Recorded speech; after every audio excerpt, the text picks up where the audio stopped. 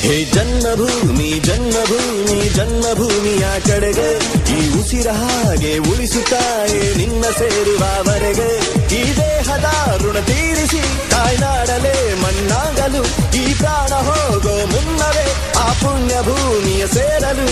ದೇಹ ಮಣ್ಣಿಗೆ ಪ್ರಾಣ ಎನ್ನುತ್ತ ಪಯಣ ತಾಯಿಯ